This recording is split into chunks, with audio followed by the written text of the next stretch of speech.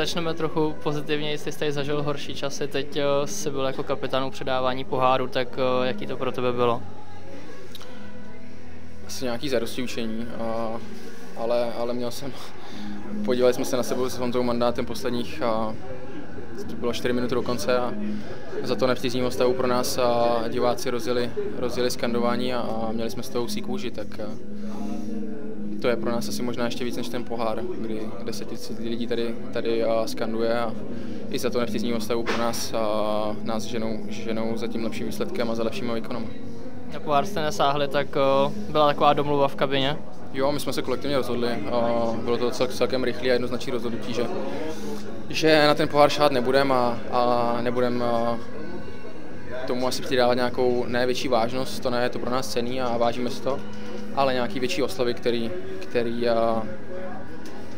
si myslím asi tomu možná nepříslušej nebo, nebo nechcem urazit nějaký trochu, trochu štěstíčko, který a, chceme mít a a je to pro nás nějaký dílčí úspěch, ne, ne, ten hlavní, ne ten hlavní úspěch, který bychom chtěli dosáhnout v té sezóně, takže, takže ceníme si toho, ale, ale takhle jsme se dohodli a myslím si, že nevím, jestli by to tak mělo vypadat, ale myslím si, že, že tak to je správně.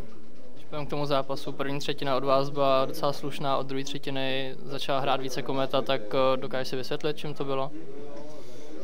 A já bych s toho možná trochu nesouhlasil, v té druhé třetině jsme měli spoustu šancí v útočném pásmu, dokázali jsme se udržet na puku, ale ale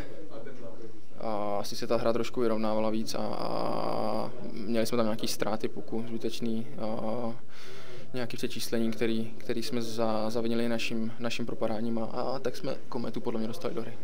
Byly důležité i přesilovky a ty oslabení. Například odskočili na ty, na ty dva góly právě po tom, co byste nevyužili přesilovku a kometa v zápětí proměnila. Určitě chceme v těch speciálních týmech chceme, chceme výst, chceme a využívat víc no, přesilovek, než, než inkasovat gólů v oslabení, ale, ale taky chceme eliminovat naše fauly, který, a, kterým těm soupeřům dáváme ty oslabení, takže, takže to je hlavní, hlavní moto, hlavní cíl do dalších zápasů.